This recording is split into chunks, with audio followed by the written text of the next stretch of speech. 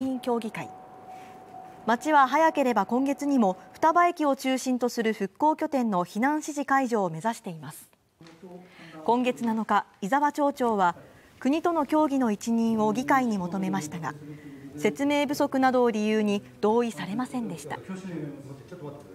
その後議会は除染や復興状況について改めて町に説明を求め協議した結果今日町に対し避難指示解除に向け情報を共有しながら国との協議を進めていくことを了承しました。県内外11カ所の住民説明会をまずあのしっかりと精査をして、えー、皆さんのご意見ご要望に応えるような取り組みをしていきたいと思います。町は今後国や県と具体的な解除日を協議していく予定です